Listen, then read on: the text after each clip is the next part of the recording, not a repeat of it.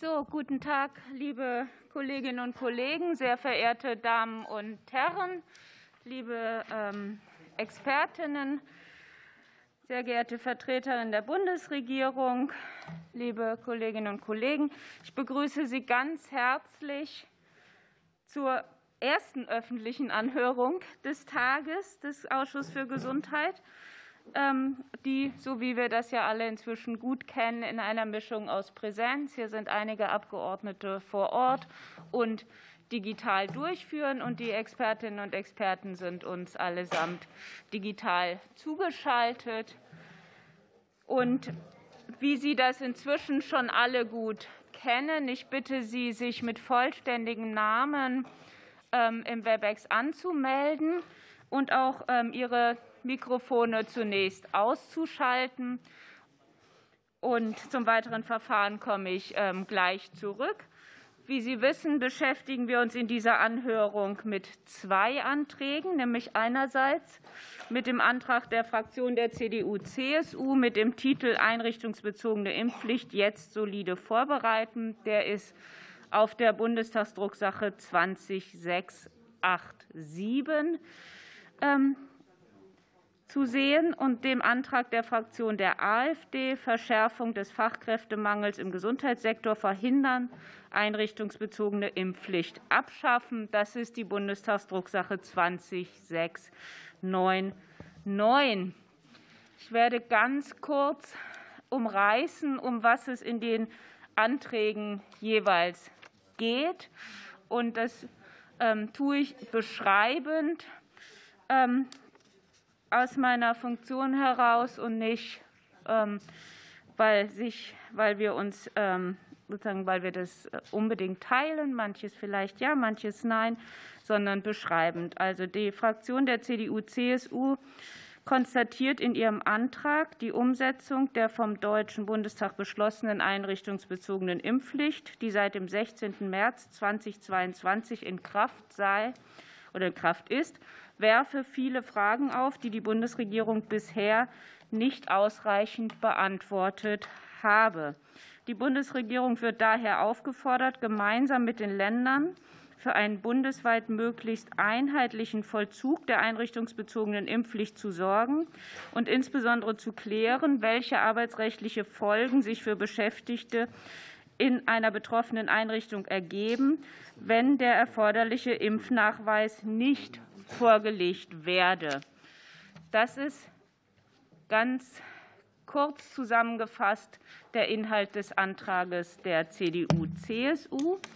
Und der zweite Antrag, den wir heute anhören, ähm, kommt von der Fraktion der AfD. Und die Fraktion AfD fordert in ihrem Antrag, die einrichtungsbezogene Impfpflicht wieder aufzuheben. Und zur Begründung heißt es im Antrag, die Folge der Regelung und deren Umsetzung sei der regional drohende Zusammenbruch des Gesundheitswesens durch Freisetzung von Beschäftigten, die für die Versorgung der vulnerablen Gruppen unersetzlich seien, so die Auffassung der AfD. Durch diese Regelung sei die Versorgung von bis zu 200.000 Pflegebedürftigen und Kranken gefährdet, und es drohe eine verstärkte Abwanderung qualifizierter Pflegekräfte in andere Berufe oder ins Ausland. Das kurz zusammengefasst der Inhalt des Antrags der AfD. Jetzt noch ein paar formale Anmerkungen Anmerkungen zum Ablauf dieser Anhörung. Es stehen uns insgesamt 60 Minuten zur Verfügung, und in dieser Zeit werden die Fraktionen ihre Fragen abwechselnd in einer festen definierten Reihenfolge an die Sachverständigen stellen. Und es beginnt immer die antragstellende Fraktion, und die weitere Reihenfolge orientiert sich an der Stärke der Fraktionen und beruht auf einer ausschussinternen Vereinbarung, die immer wieder bei jeder Anhörung entsprechend angewendet wird. Und es wird immer eine Frage an eine Sachverständige oder einen Sachverständigen gestellt und dann erfolgt die Antwort. Und für Frage und Antwort zusammen stehen immer insgesamt drei Minuten zur Verfügung. Ich darf Sie also bitten, die einzelnen Wortbeiträge möglichst kurz zu halten. Dann können auch viele Fragen gestellt werden und viele Sachverständige können zu Wort kommen. Und nach 60 Minuten werde ich die Anhörung schließen. Die jeweils aufgerufenen Sachverständigen bitte ich, sich jedes Mal wieder, so ein bisschen kontraintuitiv, aber jedes Mal wieder vor Beantwortung einer Frage, auch wenn Sie mehrere Fragen hintereinander ähm, an Sie adressiert werden, mit Ihrem Namen und Ihrem Verband vorzustellen. Das dient einerseits der Erleichterung ähm, der Erstellung des Protokolls und andererseits auch ähm, dem, dass diese Sitzung wird ja später im Bundestagsfernsehen auch nachhör- und sehbar sein, dass die Menschen, die später vielleicht einschalten, dann jedes Mal wissen, welche Sachverständige jetzt auch wirklich spricht und welcher Institution sie ähm, zuzuordnen ist. Den Sachverständigen, die eine schriftliche Stellungnahme eingereicht haben, danke ich jetzt schon mal ganz, ganz herzlich. Und des Weiteren bitte ich alle Anwesenden, ihre Mobiltelefone auf lautlos zu stellen. Sie wissen, ein Klingeln kostet 5 Euro und wird dann für einen guten Zweck eingesammelt. Dass die Anhörung live im Parlamentsfernsehen äh, übertragen wird und digital aufgezeichnet wird, habe ich eben schon gesagt. Und sie kann eben später auch in der Mediathek abgerufen werden. Und das Wortprotokoll der Anhörung wird auf der Internetseite des Ausschusses veröffentlicht. Soweit zur Einführung. Und nun beginnen wir mit der Anhörung. Und die erste Frage stellt die Fraktion der CDU-CSU. Und das ist der Kollege Rüddel. Bitte, Herr Rüddel, Sie haben Vielen das Wort. Dank. Ich, äh, meine Frage geht äh, an den Bundesverband privater Anbieter sozialer Dienste. Äh, wie wurde aus Ihrer Sicht die Einführung der einrichtungsbezogenen Impfpflicht durch die Bundesregierung vorbereitet? Waren insbesondere am Stichtag 16.03.2022 alle offenen Fragen geklärt?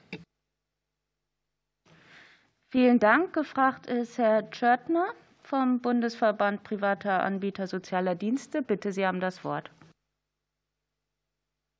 Pascal Schörtner, Bundesverband privater Anbieter sozialer Dienste. Vielen Dank für die Frage, Herr Rüddel.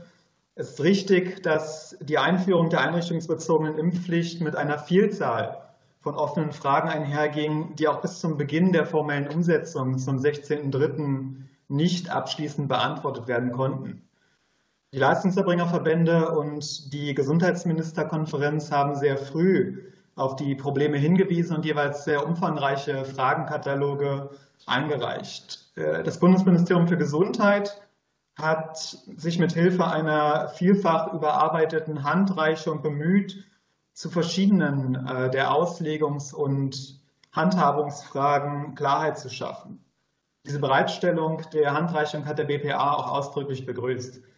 Problematisch war jedoch, dass in den diversen Fassungen dieses Dokuments es mehrfach dazu kam, dass vorherige Aussagen teils ersatzlos gestrichen und teils ins Gegenteil umgekehrt wurden.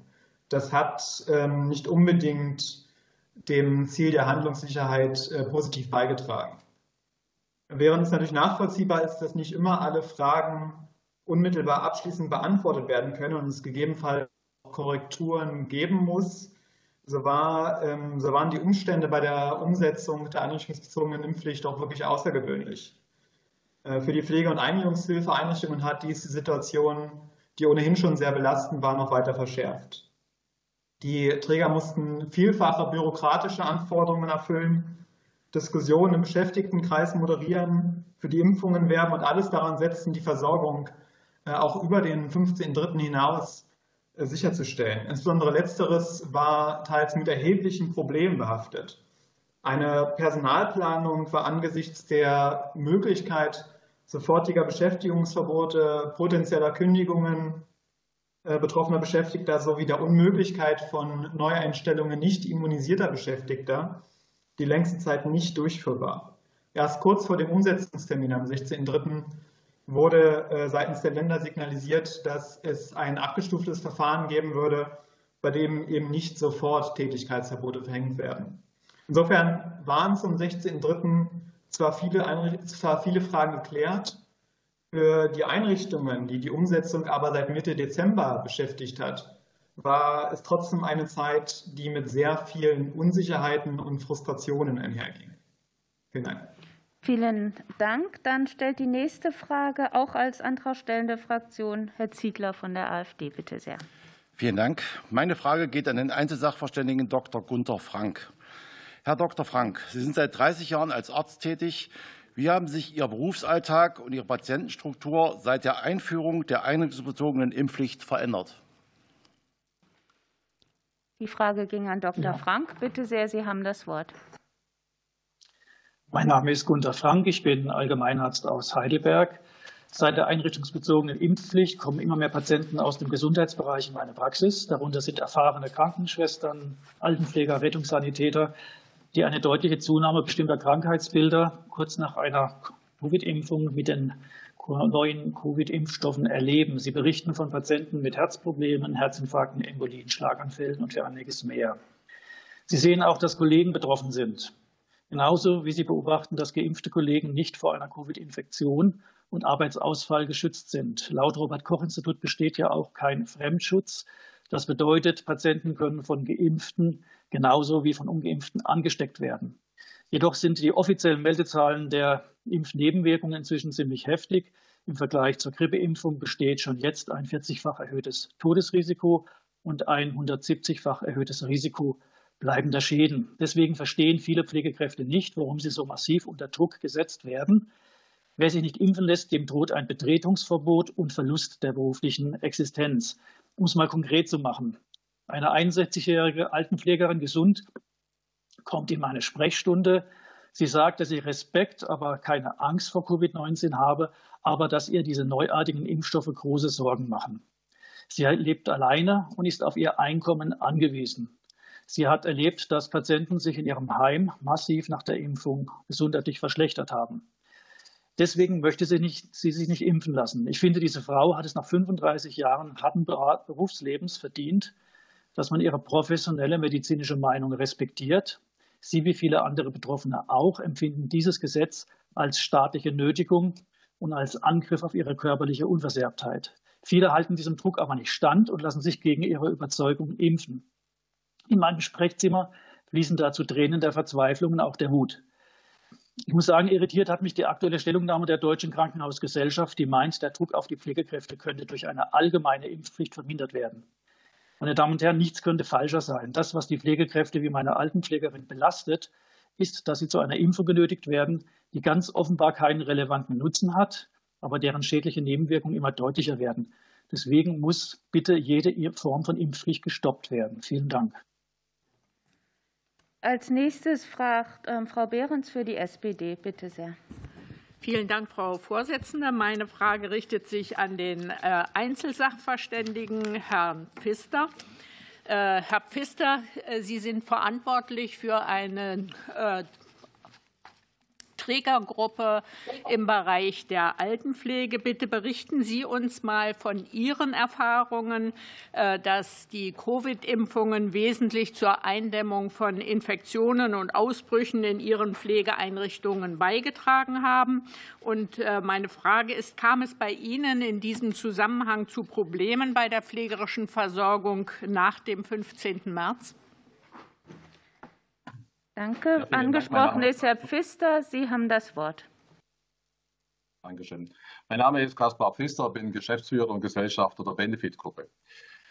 Wir haben jetzt seit äh, Beginn der äh, Corona-Pandemie rund 1700 Infektionen, davon etwa 700 äh, bei Kunden, das heißt stationäre und ambulante Kunden und 800 äh, bei Mitarbeitern. Wir versuchen eigentlich seit zweieinhalb Jahren, äh, seit Beginn der Pandemie, alle äh, Infektionen zu analysieren und auszuwerten, die Ursachen festzustellen und insbesondere natürlich auch, seit es den Impfstoff gibt, auch da einen Zusammenhang herzustellen. Wir können heute sagen, dass durch die Impfung das Infektionsrisiko deutlich geringer ist. Und wir können auch sagen, dass bei den Impfungen, bei den Erkrankungen, die wir festgestellt haben, bei geimpften Personen die Verläufe deutlich milder bis oft sogar symptomfrei sind. Und auch wenn ich jetzt die aktuelle Omikron-Welle anschaue, in der hatten wir jetzt bis heute acht verstorbene Bewohner. Davon waren äh, vier nicht geimpft und vier geimpft. Und wenn ich das in Verhältnis setze zu der Gesamtzahl, dann ist eigentlich das Sterberisiko bei ungeimpften äh, Bewohnern 60 Mal höher als bei Bewohnern, die, eine, die einen Impfschutz haben. Wir setzen äh, seit 1. Dezember einrichtungsbezogen äh, diese Impfpflicht quasi intern schon um. Das heißt, seit Dezember setze ich nur noch Mitarbeiter ein, die einen Immunitätsstatus haben. Alle anderen sind freigestellt äh, gegen Fortbezahlung der Bezüge. Stand heute habe ich jetzt noch 26 Mitarbeiter, die freigestellt sind. Alle anderen haben sich impfen lassen. Und zwar nicht durch Druck, sondern im Prinzip durch Gespräche, durch Aufklärung, auch durch eine klare Linie. Und ich habe im Moment eine Impfquote bei den Mitarbeitern von 98 Prozent. Zu keinem Zeitpunkt hatten wir größere äh, Probleme, wie sonst eben auch, den Dienstplan zu gestalten. Im Moment habe ich insgesamt, wenn ich die gesamte Gruppe anschaue, sechs äh, Stellen zu besetzen. Also auch hier keine äh, Horrorszenarien, wie sie immer wieder kommuniziert werden. Dankeschön. Und dann geht das Fragerecht weiter an Tino Sorge von der Union. Bitte sehr. Ja, vielen Dank, Frau Vorsitzende. Meine Frage richtet sich an den BPA, an Herrn Schürtner. Mich würde interessieren, ob weiterhin ungeklärte arbeits- und haftungsrechtliche Fragen für die Pflege- und Eingliederungseinrichtungen im Zusammenhang mit der Einführung der einrichtungsbezogenen Impfpflicht bestehen und wenn ja, welche? Vielen Dank. Herr Schürtner, Sie haben das Wort. Pascal Schörtner, Bundesverband privater Anbieter sozialer Dienste. Vielen Dank, Herr Sorge, für die Frage. Ja, auch weiterhin bestehen für die oder weiterhin sehen sich die Pflege- und Eingliederungshilfeeinrichtungen mit solchen ungeklärten arbeits- und haftungsrechtlichen Fragen konfrontiert. Die bestehenden Auslegungshinweise des Bundesministeriums für Gesundheit konnten leider auch noch nicht ausreichen zur Klärung all dieser beitragen. Äh, kürzlich gab es auch eine Ausarbeitung des Wissenschaftlichen Dienstes des Bundestages zu arbeitsrechtlichen Aspekten der einrichtungsbezogenen Impfpflicht. Auch in dieser wurde sehr deutlich, dass es zu verschiedenen Fragen im Umgang doch teils sehr unterschiedliche Einschätzungen in der rechtswissenschaftlichen Literatur gibt. Zwei besonders akute Beispiele möchte ich Ihnen gerne nennen. Das betrifft, ähm, diese betreffen insbesondere die Zeit, seit dem 16.03. bis zur möglichen Aussprache eines Tätigkeitsverbots. Erstens die Frage, ob ich als Einrichtung nicht immunisierte Personen, bei denen das Gesundheitsamt noch kein Tätigkeitsverbot ausgesprochen hat, dennoch bereits freistellen und in diesem, ähm, in diesem Fall auf eine Lohnfortzahlung verzichten kann. Äh, ein erstes Arbeitsgerichtsurteil hält dies für angemessen. Äh, jedoch gab es noch kein Hauptsacheverfahren und die Frage der Lohnfortzahlung äh, wurde dort noch nicht betrachtet. Äh, und in der rechtswissenschaftlichen Literatur ist die Einschätzungslage doch sehr unterschiedlich diesbezüglich. Zweitens und für die meisten Einrichtungen noch viel wichtiger ist aber die Frage, ob nicht immunisierte Beschäftigte weiterhin zur Sicherstellung der Versorgung eingesetzt werden können, ohne dass daraus haftungsrechtliche äh, Regressforderungen entstehen können. Aus Sicht des BWA muss hierzu eine entsprechende gesetzliche Klarstellung erfolgen, dass der Einsatz unter Wahrung der sonstigen Schutzmaßnahmen, also Tests und Masken insbesondere, weiterhin erfolgen kann ähm, und so eben die Versorgung auch gesichert werden kann. Wir haben dazu im Rahmen der letzten Novelle des Infektionsschutzgesetzes einen äh, entsprechenden Vorschlag unterbreitet, der bisher leider noch nicht aufgenommen wurde. Wir wären aber sehr dankbar dafür, wenn der Gesetzgeber eine entsprechende Klarstellung noch vornehmen würde. Danke. Dankeschön. Und nun geht das Fragerecht über an Bündnis 90 Die Grünen. Frau Schulz-Asche, bitte. Ja, herzlichen Dank, Frau Vorsitzende. Meine Frage richtet sich an Herrn äh, Jörg Schutmann von der Berufsgenossenschaft für Gesundheitsdienste und Wohlfahrtspflege. Äh, welche Bedeutung hat nach Ihrer Einschätzung nach eine hohe Impfquote unter Mitarbeitenden im Gesundheitswesen für die Bekämpfung der Corona-Pandemie? Angesprochen ist Herr Schutmann. Herr Schutmann, Sie haben das Wort. Ja, vielen Dank, Frau Schulz-Asche, für diese Frage. Jörg Schuttmann, Hauptgeschäftsführer der Berufsgenossenschaft für Gesundheitsdienst und Wohlfahrtspflege. Die BGW ist die gesetzliche Unfallversicherung für rund 700.000 Mitgliedsunternehmen in den, in den Gesundheits- und Wohlfahrtspflegebereichen und versichert etwa 9 Millionen äh, Menschen, die in diesen Bereichen tätig sind.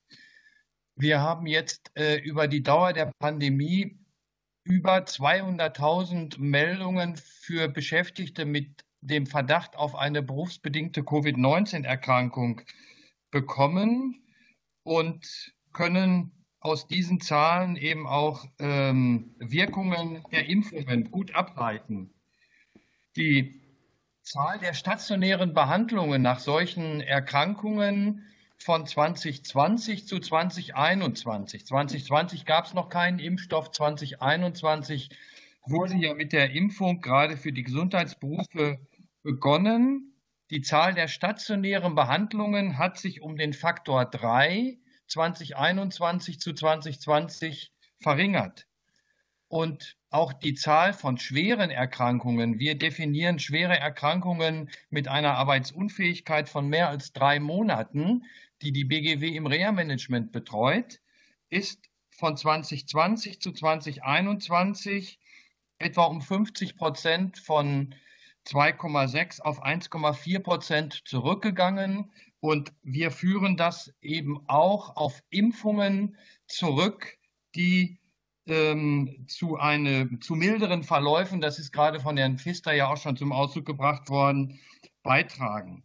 Die BGW stellt dementsprechend in ihren branchenbezogenen Arbeitsschutzstandards, die eine Hilfestellung für die Betriebe für, zur Auslegung der Corona-Arbeitsschutzverordnung sind, auch mit entscheidend darauf ab, dass Impfungen angeboten und durchgeführt werden. Und die BGW unterstützt auch äh, durch Aufklärung und Beratung. Zuletzt haben wir eine Impfinitiative Anfang dieses Jahres mit Herrn Dr. Eckhard von Hirschhausen auf den Weg gebracht, dass eben Motivation und Bereitschaft zur Impfung in den Einrichtungen noch einmal deutlich gefördert wird. Und wir messen unverändert der Impfung eine hohe präventive Bedeutung für, die, für den Gesundheitsschutz der Beschäftigten im Gesundheitswesen bei. Vielen Dank. Dankeschön. Und das Fragerecht geht nun an die FDP und es fragt Frau Westig. Bitte sehr. Vielen Dank, Frau Vorsitzende. Ich habe eine ähm, Frage an Frau Dr. Ähm, Elisabeth Fix vom, ähm, von der Caritas. Sie weisen in Ihrer Stellungnahme noch einmal auf die Notwendigkeit der Evaluation der einrichtungsbezogenen Impfpflicht hin. Welche konkreten Schritte wären hier in Ihren Augen notwendig? Frau Dr. Fix, Sie sind angesprochen und Sie haben das Wort. Bitte schön. Ja, vielen Dank für die Frage, Frau Westig, Elisabeth Fix ähm, für den Deutschen Caritasverband. Ja, in der Tat ähm, äh, ist es notwendig, die einrichtungsbezogene Impfpflicht mit einem Monitoring zu begleiten und auch zu evaluieren. Es sind zwei unterschiedliche Aspekte. Wir brauchen ein begleitendes Monitoring.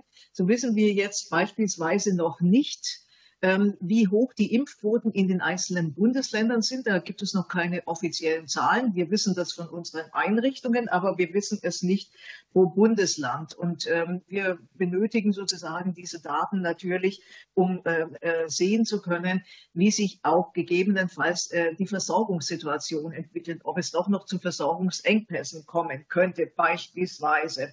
Also brauchen wir die Daten im Zeitverlauf. Das ist sozusagen Bestandteil des Monitorings. Evaluiert werden muss dann auch, wie äh, die Betretungsverbote in den einzelnen Bundesländern umgesetzt werden. Wir sehen da also gegenwärtig ein relatives Patchwork, äh, Uneinheitlichkeit zwischen den Bundesländern. Ähm, das sollte ähm, eruiert werden. Und ganz wichtig, Herr Tschartner hat ja auch schon dazu ausgeführt, ähm, es ist äh, sehr notwendig äh, zu schauen, welche Probleme und Unsicherheiten gegebenenfalls mit der bestehenden Rechtslage verbunden wären. Stichwort arbeitsrechtliche Folgen, haftungsrechtliche Folgen. Da gibt es bei uns gegenwärtig ähm, auch die meisten Anfragen und äh, Problemanzeigen. Also das sollte dann der dritte Bestandteil ähm, einer solchen Evaluation sein. Vielen Dank. Vielen Dank, Frau Dr. Fix. Und nun geht das ähm, Fragerecht an die AfD und es fragt Herr Ziegler, bitte. Vielen Dank. Meine nächste Frage geht an den Einzelsachverständigen Dr. Gunther Frank. Herr Dr. Frank, die Universität Marburg bietet seit kurzem eine Sprechstunde an für Patienten mit Problemen nach Covid-Impfungen. Sie wird überrannt und es gibt lange Wartelisten. Welche diesbezüglichen Erfahrungen haben Sie gemacht? Herr Dr. Frank, Sie haben das Wort. Mein Name ist Gunter Frank, Allgemeinarzt aus Heidelberg. Also zunächst mal die Aussagen von Herrn Pfister und Herrn Schutmann entsprechen nicht der internationalen Datenlage. Das sollte eigentlich bekannt sein, dass der Impfschutz nicht mehr besteht. Auch macht es keinen Sinn, irgendwelche Daten zu nennen, ohne zu unterscheiden zwischen geimpft und nicht geimpft, was ja bekanntlich die Krankenhäuser und die DW äh, nicht hinbekommen haben. Äh, auch die Aussage eines Arbeitgebers, die Pflegekräfte würden sich ohne Druck impfen lassen, würden meine Patienten als Hohn empfinden. Jetzt zurück zur Frage. Äh, sowohl ich selbst wie auch Kollegen, die sich dem Thema Impfnebenwirkungen öffnen, erleben die gleiche Situation. Wir werden tatsächlich überrannt. Dabei erlebe ich ein breites Spektrum von Symptomen wie neurologische, muskuläre, kardiale Probleme, Autoimmunerkrankungen, Sehstörungen, Schwindel, Hautveränderungen, Augenprobleme, vieles mehr, um nur einige zu nennen. Wir reden inzwischen von einem postvakzinem Krankheitsbild. Ein Beispiel. Eine 36-jährige Krankenschwester hat sich ordnungsgemäß zweimal gegen Covid impfen lassen. Nach der zweiten Impfung treten starke Schmerzen in der rechten Brust auf. Es entwickelt sich eine sogenannte granulomatöse Mastitis. Und sie ist seitdem in der Uniklinik in Behandlung, die zwar als Autoimmunerkrankung das Ganze einstuft, aber es eben nicht ans Paul-Ehrlich-Institut gemeldet hat. Das Brustgewebe ist schon so weit zerstört, dass man ihr gegenüber von einer möglichen Brustamputation sprach. Derzeit steht sie unter einer Cortisonstoßtherapie, die sie nicht gut verträgt, aber wenigstens die starken Schmerzen reduziert. Sie arbeitet in einer Arztpraxis und wurde nun aufgefordert, sich auch noch boostern zu lassen. Davor hat sie natürlich große Angst. Bitte machen Sie sich klar, eine junge Frau, deren rechtes Brustgewebe sich nach der neuartigen Covid-Impfung qualvoll selbst zerstört, wird nun vom Gesetzgeber, also von Ihnen, gezwungen, sich dennoch boostern zu lassen, weil sie sonst den Job verliert. Und ich als Arzt werde kriminalisiert, wenn ich sie davor bewahren möchte. Das ist unverantwortlich. Es gibt inzwischen Tausende solcher Patienten, die durch diese Impfung in große Not geraten und aber weitergehend ignoriert werden. In meiner nun 30-jährigen Erfahrung als Arzt habe ich sowas noch nie erlebt. Ich möchte Sie deshalb an Sie als Verantwortliche appellieren, diesem Drama ein Ende zu bereiten und die einrichtungsbezogene Impfpflicht endlich abzuschaffen. Vielen Dank. Ich bitte Sie, künftig andere Sachverständige mit dem gebotenen Respekt zu begegnen. Jetzt geht, ähm, das Fragerecht, jetzt geht das Fragerecht über an die Linke und es fragt Atisch Gürpiner. Bitte sehr. Vielen, vielen Dank. Meine Frage richtet sich an Frau Dr. Fix von der Caritas. Ähm, Im Antrag der AfD wird die Caritas zitiert. Sie befürchte die verstärkte Abwanderung qualifizierter Pflegekräfte in andere Berufe oder ins Ausland. Und die AfD begründet damit ihre Forderung nach Abschaffung der einrichtungsbezogenen Impfpflicht. Hat sich denn die Caritas für eine Abschaffung der einrichtungsbezogenen Impfpflicht eingesetzt, beziehungsweise welche Rückschlüsse ziehen Sie aus Ihrer Befürchtung? Danke sehr. Frau Dr. Fix, Sie haben das Wort. Ja, Elisabeth Fix für die Caritas, vielen Dank für die Frage. Ja, in der Tat wird in dem AfD-Antrag unser Brief, den wir äh, Ende Januar an alle Abgeordneten des Deutschen Bundestags gerichtet haben, zitiert. Allerdings ähm, wird er hier aus dem Zusammenhang genommen, denn die AfD fordert ja hier die Abschaffung der einrichtungsbezogenen Impfpflicht. Äh, in jenem erwähnten Brief haben wir uns aber ähm, für eine Erweiterung und eine Ergänzung der einrichtungsbezogenen Impfpflicht, die wir für richtig halten, um eine sogenannte bedingte allgemeine Impfpflicht ganz klar ausgesprochen. Bedingt bedeutet, ähm, äh, eine Impfpflicht sollte aus äh, unserer Sicht immer die Ultima Ratio sein. Aber wenn eine bestimmte Impfquote nicht erreicht worden ist, die notwendig ist, um die weitere Ausbreitung des Virus zu stoppen, und davon kann in Deutschland im Moment leider überhaupt nicht die Rede zu sein, dass dann eine Impfpflicht ähm, scharf geschaltet werden muss. Dafür haben wir uns eingesetzt. Und wir haben zu keinem Zeitpunkt gefordert, dass, wenn die allgemeine Impfpflicht scheitern sollte, was sie in den vergangenen Wochen im Bundestag ähm, ist, dass dann auch die einrichtungsbezogene Impfpflicht abzuschaffen sei. Dieses Non Sequitur haben wir nicht gezogen und es ist auch kausal äh, epidemiologisch nicht zu begründen. Vielen Dank. Danke schön. Jetzt geht das Fragerecht an die SPD und es fragt Dr. Pantazis. Bitte sehr. Ja, herzlichen Dank, Frau Vorsitzende. Meine Frage geht an Herrn äh, Pfister.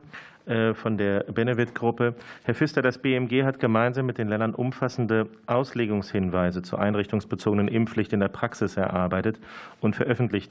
Weiterhin wurden auch die Ermessensspielräume der Gesundheitsämter in den Ländern näher gefasst.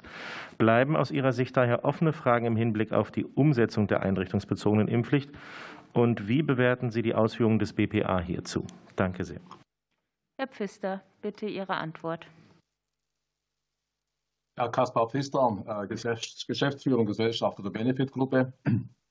Vielen Dank für die Frage. Also aus heutiger Sicht ergibt sich jetzt bei uns in der Umsetzung der einrichtungsbezogenen Impfpflicht keine Fragen. Die Dinge sind geklärt und das kann ich jetzt eigentlich auch aus der Erfahrung von fünf Bundesländern, wo wir Einrichtungen haben, bestätigen. Nichtsdestotrotz ist es so, dass eben diese Überprüfung durch die Gesundheitsämter Zeit braucht, leider nicht in der ja, Schnelligkeit und in der Konsequenz möglich ist, weil einfach die personelle Besetzung entsprechend ausgestattet ist. Also wir würden uns da eigentlich eine schnellere Entscheidung wünschen, auch im Sinne der Klarheit für die Mitarbeiter, die hiervon betroffen sind, aber auch für die Mitarbeiter, die im Einsatz sind. Also Fragen keine, Ermessensspielräume sind gegeben. Wir sehen auch kein Problem, wenn Gesundheitsbeeinträchtigungen vorliegen. Also wenn es medizinische Argumente gibt, dass jemand keinen keine Impfung haben kann, dann gibt es ja hier Möglichkeiten, durch ärztliche Atteste entsprechend zu agieren. Also ich sehe da keine, keine, kein, kein Mangel. Wie gesagt, wir hätten es eigentlich gewünscht, dass man das schneller und auch jetzt zielführender umsetzen kann. Das ist die einzige Kritik, die wir haben. Nicht im Sinne von, dass jetzt Fragen ungeklärt sind. Die Fragen sind geklärt. Es ist leider ein etwas kompliziertes Verfahren. Es wäre schön, wenn es einfacher gewesen wäre. Danke sehr. Ähm, jetzt fragt Frau Zollner für die Union und die ist digital dabei. Bitte, Frau Zollner, Sie haben das Wort.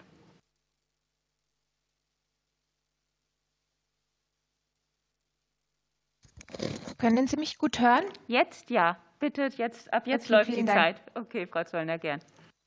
Vielen Dank. Und zwar geht meine Frage an den Dr. Gass von der DKG. Ähm, aus äh, Ihrer Einschätzung nach, wie viele, mit wie vielen äh, Mitarbeiterinnen und Mitarbeitern rechnen Sie, die aus dem Beruf ähm, ausscheiden werden, auch zukünftig ähm, diesen Beruf nicht mehr weiterführen werden, ähm, weil eben dieses äh, Damoklesschwert eben der ähm, einrichtungsbezogenen Impfpflicht auch über ihnen schwebt. Wir hatten vorhin im äh, Ausschuss auch darüber gesprochen, dass die Bonuszahlungen für Mitarbeiter. Da haben wir auch später nochmal das Thema dazu, aber auch das nochmal in Bezug für, weil das doch zusammenhängt, dass äh, das beispielsweise für Pflegekräfte ja kommen soll, aber eben herausgenommen wohl Pflegekräfte sind, die eben keine Impfung bis zum jetzigen Zeitpunkt äh, auch erhalten haben. Und auch da die Frage, wie, so, wie wollen Sie sozusagen ähm, in, in dem Bereich äh, gewährleisten, ähm, dass eben die äh, entsprechenden Mitarbeiter in ihren ganzen Einrichtungs, Einrichtungen bekannt sind und ähm, sozusagen da auch in die Umsetzung gehen. Also ist, wir hören von Krankenhäusern, die eben jetzt schon bei den Landratsämtern sozusagen zu bedenken geben, dass eben der Versorgungsauftrag nicht, dem Versorgungsauftrag nicht nachgekommen werden kann, wenn eben die einrichtungsbezogene Impfpflicht auch äh, so wie sie jetzt angedacht ist, weiter durchgezogen äh, wird und eben ähm, tatsächlich auch die Situation ähm, weiter verschärft wird was den Pflegenotstand angeht. Ja, danke. Ähm, Herr Dr. Gass hat jetzt das Wort und hat noch anderthalb Minuten, weil Sie sehr lange gefragt haben. Herr Dr. Gass, bitte. Ja, vielen Dank, Gerald Gass, Deutsche Krankenhausgesellschaft. Vielen Dank, Frau Zollner, für die Frage. Ähm, zunächst einmal ist vorauszuschicken, dass äh, in etwa 95 Prozent der Beschäftigten in den Krankenhäusern geimpft oder genesen sind und insofern äh, zunächst einmal äh, nicht jetzt weiter von den Meldungen durch die Gesundheitsämter betroffen sind oder gegenüber den Gesundheitsämtern gemeldet werden. Nichtsdestotrotz ist diese Quote natürlich ein Durchschnittswert. Das heißt, wir wissen, dass insbesondere in den Bundesländern, in denen wir auch insgesamt niedrigere Impfquoten haben, äh, tendenziell auch in den Krankenhäusern niedrigere Impfquoten sind. Äh, wir haben in der Tat in Teilen auch von Krankenhäusern Meldungen, die uns signalisieren, dass eine entsprechende Zahl an Pflegekräften oder anderen Fachkräften gemeldet werden musste an die Gesundheitsämter. Und angesichts der knappen Personaldecke haben einzelne Krankenhäuser in der Tat die Sorge, äh, dass sie bestimmte Leistungsgebiete nicht mehr in der Weise durchgängig zur Verfügung stellen können, weil es auch an einzelnen Fachkräften hängen kann, aufgrund der Strukturvorgaben, denen wir im Personalbereich in den Krankenhäusern unterliegen. Äh, Dankeschön. Die Fragezeit ist jetzt ähm, rum. Vielleicht kommt ja gleich noch eine Frage. Jetzt ähm, für Bündnis 90 Die Grünen, Dr. Dahmen. Ja, vielen Dank, Frau Vorsitzende. Meine Frage richtet sich an den äh, Einzelsachverständigen Professor Sander von der Charité. Ähm, Herr Professor Sander, das erklärte Ziel der einrichtungsbezogenen Impfpflicht äh, ist und bleibt ja der Schutz derjenigen vulnerablen Menschen mit einem hohen Risiko für einen schweren Krankheitsverlauf überall dort, wo sie darauf angewiesen sind, behandelt, gepflegt oder betreut zu werden.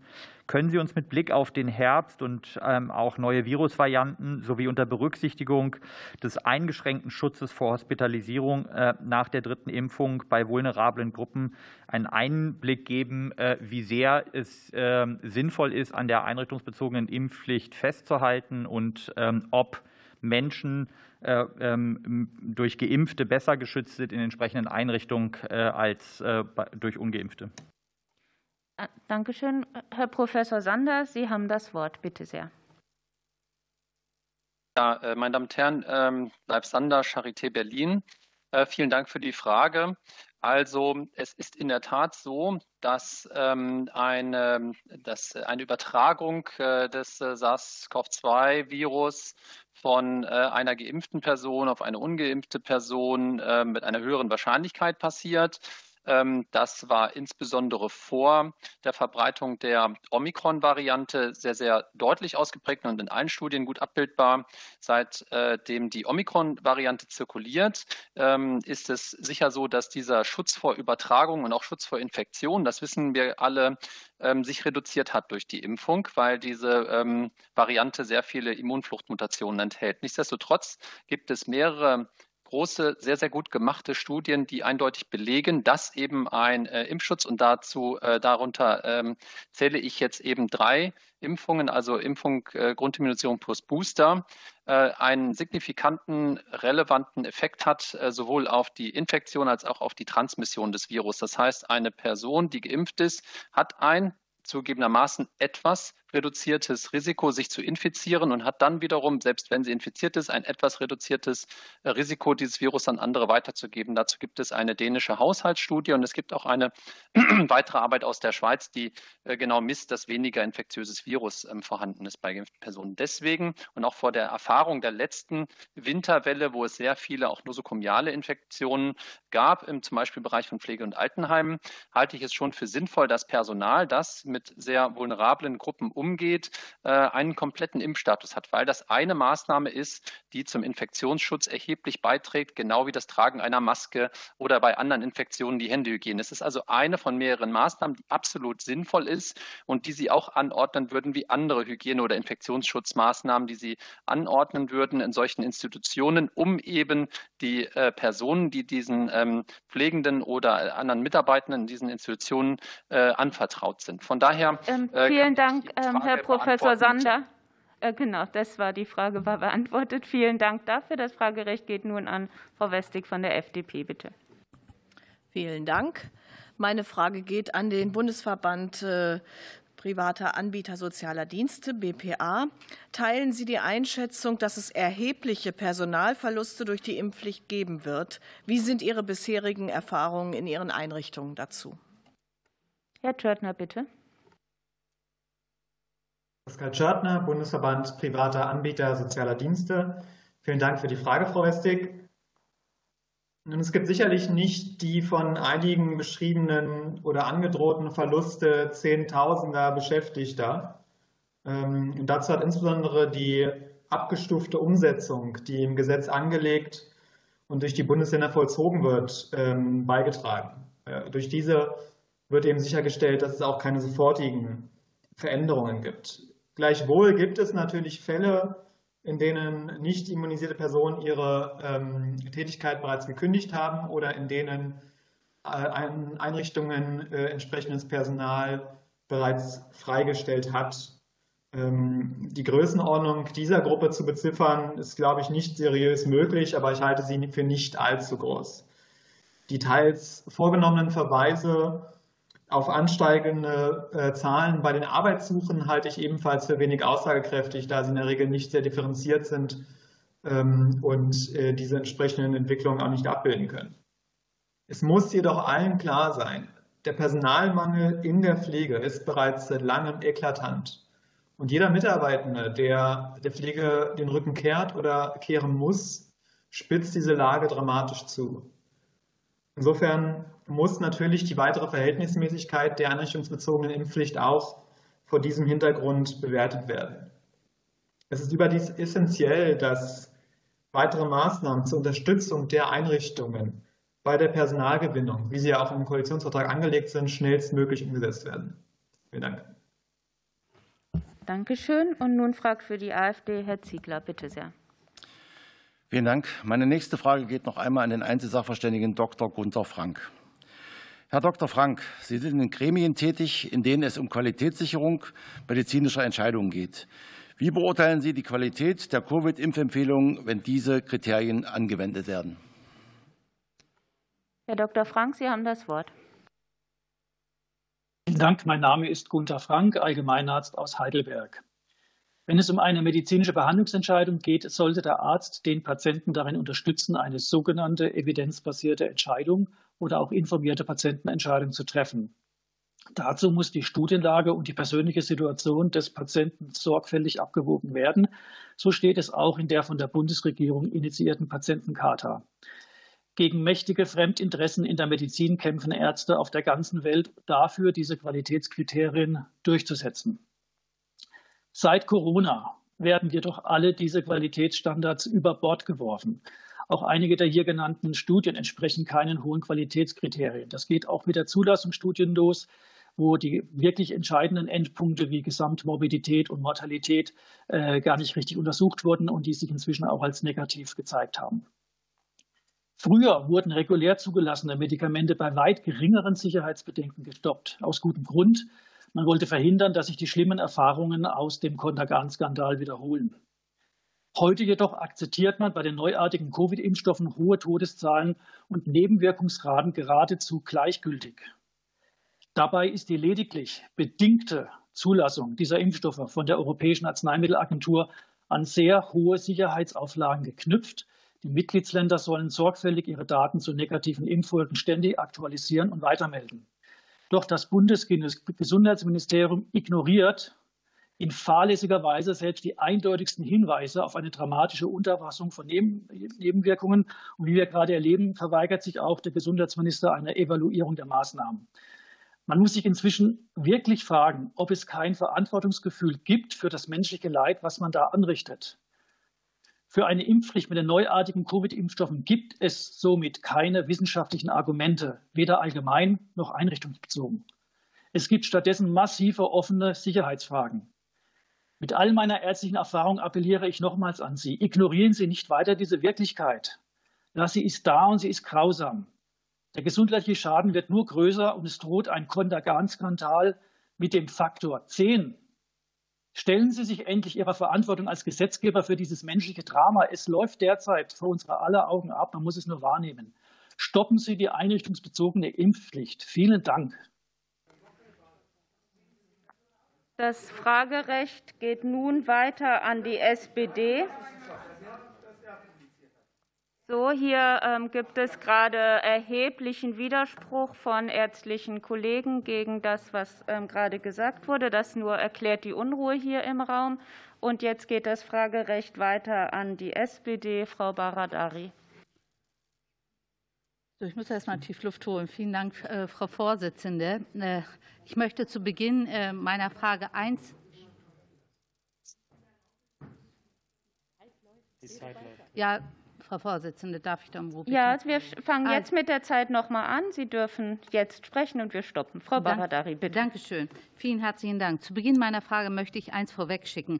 Ich glaube, dass jede, jeder hier im Saal sich seiner Verantwortung im Klaren ist und dass hier jeder nach bestem Wissen und Gewissen handelt.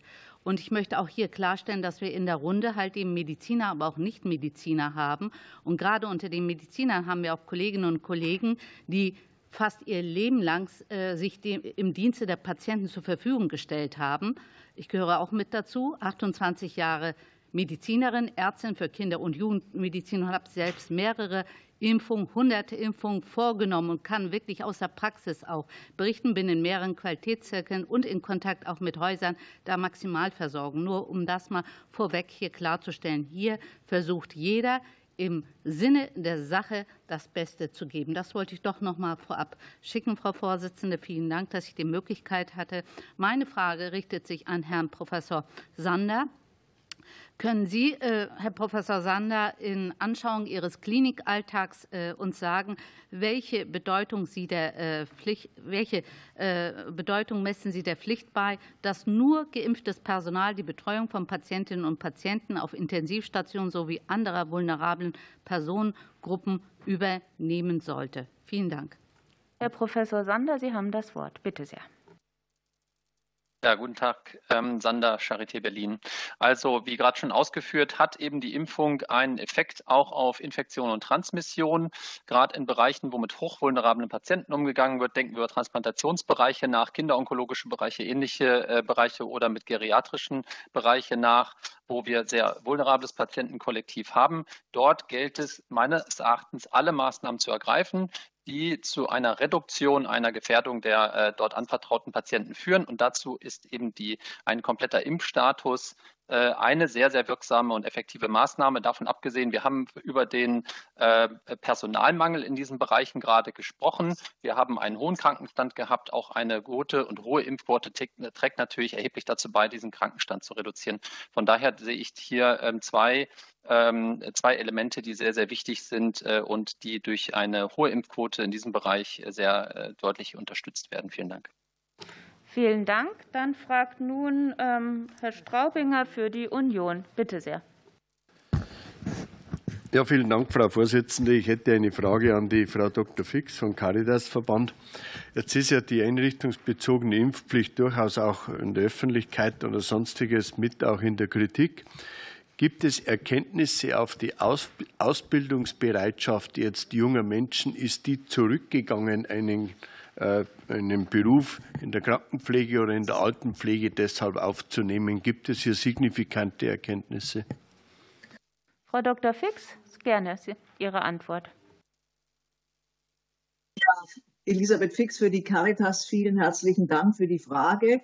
Ähm, ich kann sagen, wir haben hier keine Evidenz, dass die Ausbildung zurückgegangen ist ähm, aufgrund der einrichtungsbezogenen Impfpflicht oder dass äh, junge Menschen sich nicht für diesen Beruf entscheiden.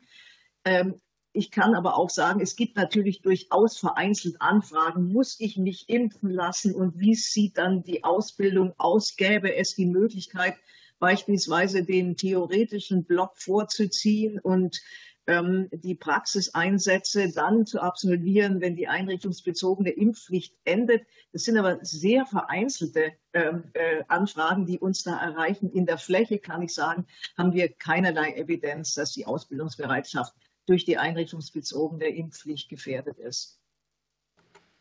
Vielen Dank. Und für die SPD, Frau Kollege Heidenblut, bitte sehr. Ja, vielen Dank, Frau äh, Vorsitzende. Meine Frage geht an den Deutschen Pflegerat. Ähm, und zwar würde ich Sie bitten, so äh, einzuschätzen, wie Sie die Impfquote und die Impfbereitschaft unter den Pflegekräften in Kliniken und im äh, Bereich der sonstigen Einrichtungen sehen und ob Sie vor diesem Hintergrund einen Fachkräftemangel, der durch die Impfpflicht verursacht wurde, ausmachen können. Danke. Angesprochen ist Frau Döring. Bitte, Sie haben das Wort. Ulrike Döring, Deutscher Pflegerat. Vielen Dank für die Frage. Äh, wir sehen, also wir haben auch keine Zahlen, die ähm, jetzt nach Bundesländern oder so weiter zu sortieren wären, wie hoch die Impfquoten sind. Grundsätzlich sind die Impfquoten aber sowohl in den Krankenhäusern als auch in vielen stationären und ambulanten Langzeitpflegeeinrichtungen sehr hoch. Wir haben äh, keinerlei ähm, äh, Nachrichten dazu, dass wirklich viele deshalb den Beruf verlassen.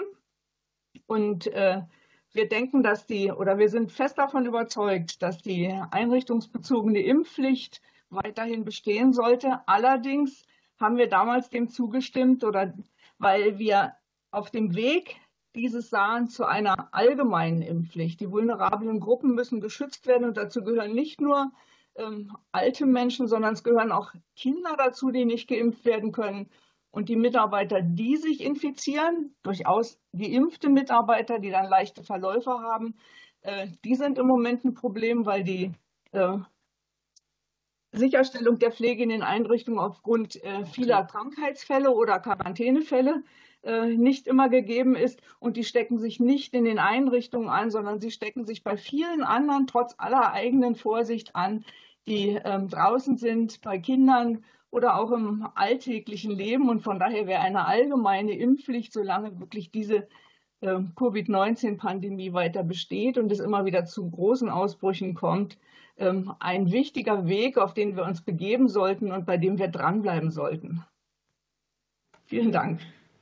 Danke, Frau Döring. Und nun fragt Herr Rüddel für die Union. Bitte. Vielen Dank. Ich habe eine Frage an den Deutschen Caritasverband, und zwar, welche offenen Fragen äh, in der Umsetzung der einrichtungsbezogenen Impfpflicht beschäftigt die Einrichtungen derzeit am meisten? Gibt es Rechtsunsicherheiten und äh, welche, welchen Handlungsbedarf leiten Sie daraus ab? Vielen Dank. Frau Dr. Fix, Sie haben das Wort. Vielen Dank für die Frage, Herr Rüttel. Elisabeth Fix für die Caritas. Also die meisten offenen Fragen, die sich um die Umsetzung der einrichtungsbezogenen Impfpflicht ranken, sind derzeit arbeitsrechtliche und insbesondere haftungsrechtliche Fragen. Also die Gesundheitsämter haben ja zumeist noch keine Betretungsverbote ausgesprochen, aber es werden Rückfragen an die Einrichtungen gestellt, beispielsweise, ob es möglich ist, ähm, den ungeimpften Mitarbeitenden Patienten beziehungsweise Klienten fern äh, zu beschäftigen, etc. etc. Und dann bleibt ein bisschen unsicher, was dann eigentlich passiert. Denn der Arbeitgeber hat ja natürlich einerseits sozusagen die Aufgabe, eine Gefährdungsbeurteilung durchzuführen. Andererseits, und da sind wir sehr dankbar, ist auch in den FAQs ähm, äh, zur Umsetzung der einrichtungsbezogenen Impfpflicht ganz klar gestellt worden, dass Mitarbeitende, die nicht geimpft sind, so lange weiterarbeiten dürfen, bis das Gesundheitsamt ein Betretungsverbot äh, erlässt. Und das muss sozusagen äh, wirklich absolut ähm, sichergestellt sein. Ähm, ich glaube, wir brauchen dazu keine äh, gesetzgeberischen Maßnahmen, aber wir brauchen ähm, eine flächendeckend einheitliche Umsetzung. Das fordert auch die Union in ihrem Antrag ein bundeseinheitliches Vorgehen der Gesundheitsämter. Und ähm, ein solches Vorgehen kann natürlich auch äh, über Gremien wie die GMK erzielt werden. also diesen Handlungsbedarf, den sehen wir, weil sozusagen äh, sonst auch die Arbeitgeber mit diesen arbeitsrechtlichen und haftungsrechtlichen Fragen alleingelassen sind. Und das kann nicht sein. Danke.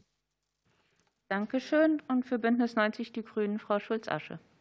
Ja, herzlichen Dank, Frau Vorsitzende. Ich, meine nächste Frage richtet sich an Frau Professor Christel Bienstein vom Deutschen ähm, ähm, Entschuldigung, vom Berufsverband äh, für Pflegeberufe. Wie bewerten Sie eine eventuelle Bedrohung für die pflegerische Versorgungssicherheit in Deutschland in Bezug auf die einrichtungsbezogene Impfpflicht? Frau Professor Bienstein, bitte. Ganz herzlichen Dank. Ganz herzlichen Dank. Mein Name ist Christel Bienstein vom Deutschen Berufsverband für Pflegeberufe. Ich bin die Präsidentin.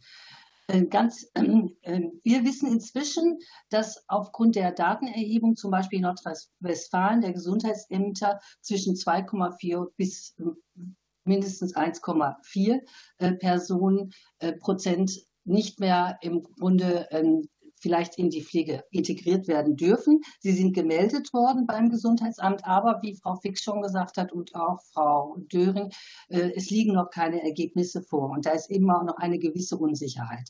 Der große Schub von ähm, Personen, die die Pflege verlassen, ist nicht eingetreten. Das war auch in Frankreich nicht so der Fall. Wir sind sehr froh darüber. Es haben sich viele Kollegen ähm, wesentlich eine größere Gruppe von Personen impfen lassen als in der allgemeinen Bevölkerung. Wir haben uns für die äh, einrichtungsbezogene Impfpflicht ausgesprochen, weil wir dort natürlich auch Köchinnen haben, wir haben Handwerker, wir haben äh, viele in der Verwaltung etc., die natürlich auch Bewohnerkontakt haben.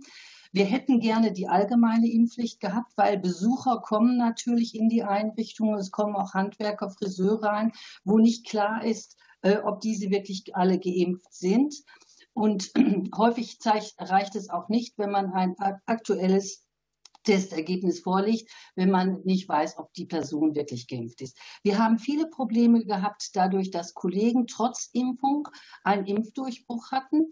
Das führte dazu, dass sie kurzfristig natürlich auch krank gemeldet waren. Wir hatten aber auch, wie Frau Düren sagte, eine Reihe äh, von Personen, die in Quarantäne mussten, weil ihre Kinder im Grunde erkrankt waren äh, im Bereich der Kita oder der äh, Schulen. Wir sind jetzt ähm, nicht zufrieden damit, wie das in den Bundesländern gehandhabt wird. Es ist ein uneinheitliches Vorgehen, äh, wie die Anerkennung erfolgt, wie auch die Reaktion der Gesundheitsämter erfolgt. Und wir haben große Bedenken bei den Kollegen im Krankenhaus. Die Zahl derjenigen, die ungeimpft auf Intensivstationen oder in der Notaufnahme ankommen, äh, ist deutlich höher geworden. Und diese, diese Personen gefährden natürlich auch die Kollegen, die dort arbeiten. Und das führt äh, immer wieder zu Unsicherheiten. Äh, es hat auch in der Pflege Auseinandersetzungen zwischen Kollegen gegeben, weil sie gesagt haben, du musst dich impfen lassen. Das ist wirklich sehr, sehr wichtig für uns, weil wir können auf dich nicht verzichten. Und viele haben äh, wirklich auf die Angebote, die, die in den Häusern gelaufen sind und die individuellen Gespräche, die gelaufen sind, darauf positiv reagiert. Also von daher befürchten wir nicht einen großen ähm, äh, Ausbruch oder Ausstieg aus dem Beruf und daher in dem Sinne auch nicht eine Unterversorgung. Aber wir müssen festhalten, wir haben seit vielen Jahrzehnten viel zu wenig Pflegende in allen Einrichtungen, die wir im Grunde betreuen. Vielen Dank, Frau Professor Binstein. Und für die Linken fragt Herr Gürpiner, bitte. Äh, meine Frage geht an Herrn Hahn vom Deutschen Städtetag. Ähm, und zwar geht es um die Durchsetzung der Impfpflicht. Ähm, da quasi jede Pflicht letztendlich nur so gut ist wie ihre Durchsetzung. Die Frage an Sie, wie steht es nach Ihrer Ansicht um die Überprüfung der Impfpflicht bei Beschäftigten des Gesundheitssystems in Bezug auf personelle Kapazitäten und welche Forderungen haben Sie dazu? Herr Hahn, Sie haben das Wort. Ja, Stefan Hahn, Tag. Ähm, die Frage der, der Kontrolle und der Durchsetzung in diese Phase sind wir noch gar nicht eingetreten. Ähm, wir sind, wie eben schon mehrfach erwähnt, noch in der Phase, dass ähm, die Meldungen über die nicht geimpft, das nicht geimpfte Personal eingegangen sind. Und das Instrument, das im Moment jetzt zur Verfügung steht, ist der Erlass von Verboten, äh, Betretungs- und Tätigkeitsverboten beziehungsweise Bußgelder. Ähm, das ist sozusagen der, der erste Flaschenhals an der Stelle. Ähm, insoweit ist die Phase, wo dann die Kontrolle vor Ort stattfindet, nämlich inwieweit die Vorschriften eingehalten werden, da ist man noch gar nicht eingetreten. Ähm, in Bezug auf Ihre Frage muss man natürlich sagen, dass die Situation in den Gesundheitsämtern, die Frage der personellen Ausstattung, nicht in erster Linie wegen finanzieller Fragestellung, sondern vor allen Dingen hinsichtlich der Frage, wo kann man denn überhaupt noch Personal gewinnen, immer noch kritisch ist. Wir haben immer noch eine Corona-Pandemie ähm, und deswegen ist die Möglichkeit auch für Kommunen an der Stelle zu kontrollieren auch nur eingeschränkt möglich. Ein wichtiger Punkt, ähm, den Sie angesprochen haben, ist aber die Frage von Effizienz ähm, der, der Regelungen aus dem Infektionsschutzgesetz heraus. Wir sehen auf uns zukommen, das sagen unsere Städte, ähm, dass die Tätigkeitsverbote, Betretungsverbote im Wesentlichen erst im August, September verfügt werden können. Äh, die Impfpflicht, die einrichtungsbezogene Impfpflicht läuft am 31.12.2022 aus. Und da gibt es schon erhebliche Bedenken, ob tatsächlich Betretungs- und Tätigkeitsverbote noch im September oder später ausgesprochen werden können, wenn die Rechtsgrundlage dafür am 31.12.2022 ausläuft. Äh, da gibt es auch rechtsstaatliche Bedenken an der Stelle, inwieweit solche Verfügungen überhaupt rechtmäßig sind. Deswegen die dringende Bitte an den Bundesgesetzgeber, an den Bundestag, ähm, frühzeitig, möglichst schnell sich darüber Gedanken zu machen, ob über den 31.12. hinaus eine einrichtungsbezogene Impfpflicht aufrechterhalten wird. Dankeschön. Dankeschön. Und für die FDP fragt jetzt Frau Westig, bitte. Vielen Dank, Frau Vorsitzende. Ähm, meine Frage geht ähm, an ähm, den Deutschen Caritasverband, äh, Frau Dr. Fix. Ausreichende Impfquoten sind eine Voraussetzung, um den so wichtigen Schutz vulnerabler Gruppen zu gewährleisten. Welche niedrigschwelligen Möglichkeiten sieht die Caritas, um dieses Ziel auch jenseits von Impfverpflichtungen zu erreichen? Frau Dr. Fix, bitte Ihre Antwort. Ja, Elisabeth Fix für den Deutschen Caritasverband. Vielen Dank, Frau Westig, für die Frage. Ja, in der Tat müssen wir jetzt einfach zur Kenntnis nehmen, dass der Deutsche Bundestag sich mehrheitlich nicht für die Einführung einer allgemeinen Impfpflicht entschieden hat, jedenfalls nicht zum gegenwärtigen Zeitpunkt. Ähm, und ähm, da müssen wir dann äh, vor diesem Hintergrund eben alles daran setzen, dass die Impfquoten, die in Deutschland viel zu niedrig sind und die auch diese auch im internationalen und europäischen Vergleich äh, durchaus hohen Infektionsquoten ähm, noch mit sich bringen, dass wir diese durch freiwillige Maßnahmen sozusagen reduzieren. Und ein wesentlicher Punkt scheint mir zu sein, den wirklich gezielten Falschinformationen entgegenzutreten, sei es die äh, längst widerlegte Unfruchtbarkeitsthese, die These von den genverändernden Wirkungen der mRNA-Impfstoffe oder von der Gentherapie, äh, durch die sich die Menschen angeblich unterziehen müssten durch mRNA-Impfstoffe oder auch ähm, bei dem in Anführungsstrichen Totimpfstoff, jedenfalls auf proteinbasierter herkömmlicher Basis hergestellten äh, Impfstoff Novavax, der auch schon wieder zerredet wurde. Da scheint es mir notwendig, also zielgruppenspezifisch da ranzugehen und vor allem ähm, auch ähm, ähm, Social-Media-Kanäle zu bedienen. Denn da sozusagen tobt auch die Debatte und ich glaube, hier wird immer noch zu wenig getan. Und das andere ist natürlich, Impfangebote weiterhin niedrigschwellig zu unterbreiten, also auf Parkplätzen, ähm, vor dem Supermarkt, äh, in den Quartieren, durch Bürgerbusse etc. etc. und auch die Impfzentren aufrechtzuerhalten. Vielen herzlichen Dank. Danke sehr. Für die SPD fragt Frau Behrens. Ja, vielen Dank, Frau Vorsitzende. Ich möchte auch noch einmal das Stichwort Falschinformationen aufgreifen, das Frau Dr. Fix eben angesprochen hat und möchte daraufhin noch mal Herrn Professor Sander gerne ansprechen. Herr Professor Sander, in der heutigen Anhörung sind ja doch äh, sehr fragwürdige wissenschaftliche Äußerungen beziehungsweise auch die Infragestellungen von tatsächlich wissenschaftlichen Studien thematisiert worden. Und ich möchte Sie bitten, einfach die Gelegenheit wahrzunehmen, das ein oder andere hier noch mal richtig stellen. Vielen Dank. Herr Professor Sander, bitte. Ja, herzlichen Dank für die Frage. Live Sander, Charité Berlin. Ähm, ist, äh, ist heute angesprochen worden, aber in der Tat auch äh, ein hartnäckig oder ist ein hartnäckiges Narrativ in sozialen Medien, teilweise auch in, in anderen Medien, dass ähm, die Einführung der Impfung oder gar der Booster, Booster-Impfkampagnen und ähnliches zu einer Übersterblichkeit geführt ähm, hätten, dass wir eine massive Untererfassung von Impfkomplikationen und äh, Impfschäden ähm, in Deutschland oder weltweit hätten. Äh, das Gegenteil ist der Fall.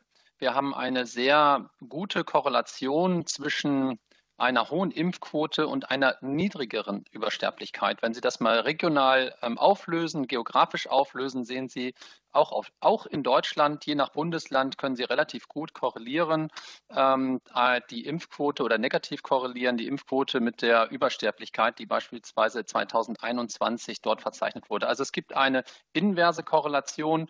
Ähm, es gibt eine kürzliche äh, veröffentlicht ist sie noch gar nicht mal, sondern sozusagen vorveröffentlichte Studie, die noch nicht begutachtet ist, die ähm, angeblich zeigt, dass die Impfung keinen Effekt auf die Übersterblichkeit hat. Diese Studie hat erhebliche methodische Schwächen und beobachtet einen viel zu kurzen Zeitraum, um überhaupt Aussagen darüber treffen zu können mit sehr wenigen niedrigen Fallzahlen. Das sagen die Autoren auch selber.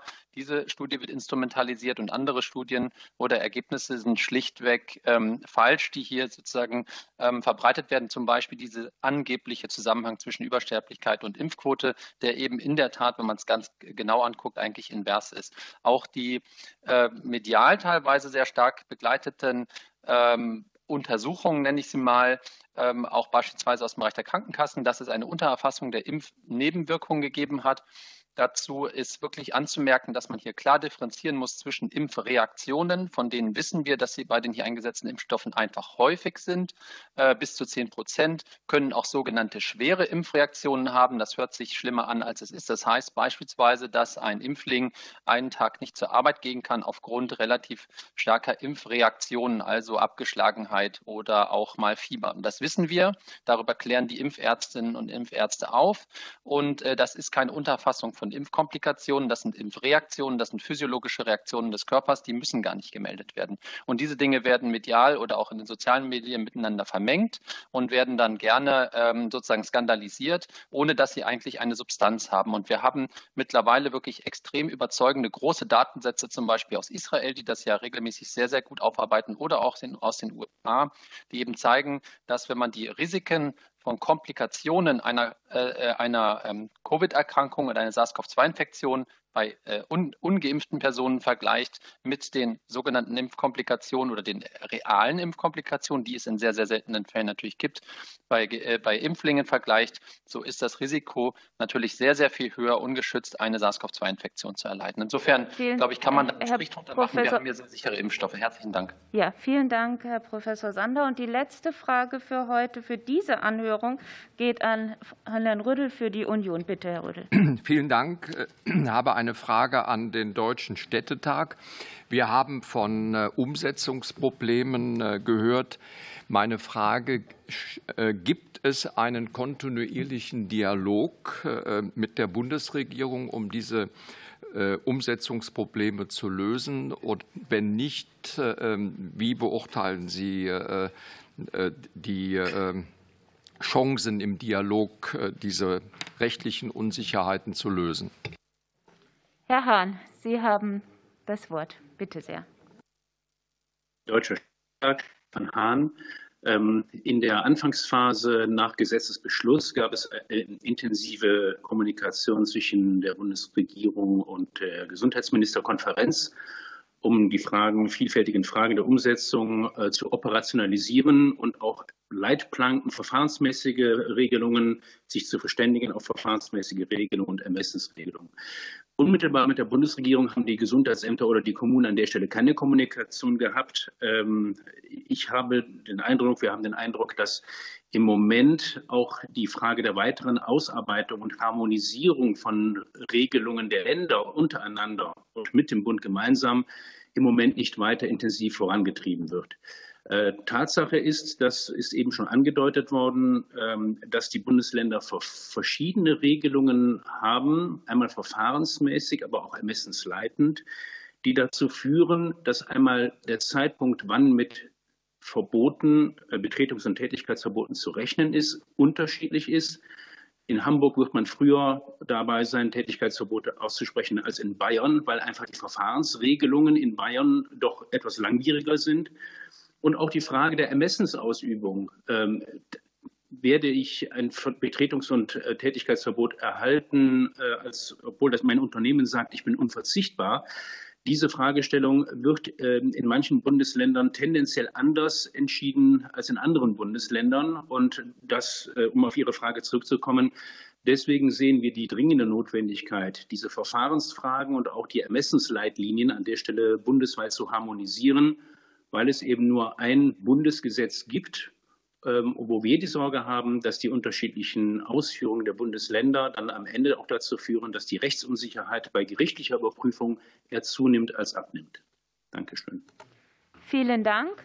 Und damit ähm, beenden wir auch diese Anhörung. Wir danken sehr ähm, den Sachverständigen und ähm, Ihnen als Fragende. Und ähm, ich schließe die Anhörung und lade ein zur nächsten Anhörung, die wir um Viertel nach beginnen werden. Jetzt haben wir also ein paar Minuten Pause und draußen steht auch der Cateringwagen. Bis gleich.